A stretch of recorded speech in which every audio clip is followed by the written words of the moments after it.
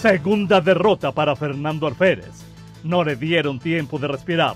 Desde la primera sesión de la actual legislatura del Congreso del Estado, cuatro de los ocho diputados que conformarían la bancada mixta de Morena decidieron que Fernando Alférez Barbosa no tenía los tamaños para estar al frente y formaron su propia fracción parlamentaria, la denominada de la Cuarta Transformación.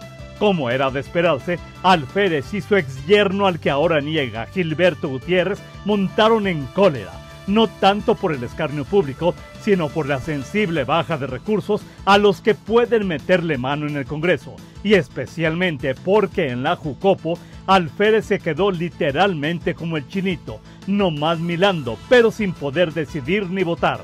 Raudo y veloz, Fernando Alférez se dolió ante el Tribunal Electoral del Estado de Aguascalientes, pretendiéndose regresar a los inconformes a la fuerza al yugo de su bancada y de su persona.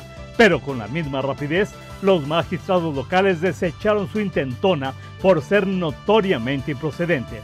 Hoy el morenista acusa que acudirá a la sala Monterrey, donde le adelantamos obtendrá el mismo resultado, le van a dar palo.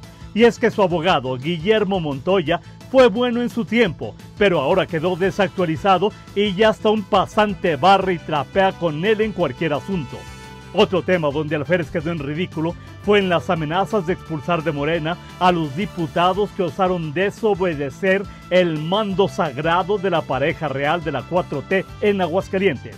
Pues esos legisladores aún aparecen en el padrón de los militantes y andan tan campantes.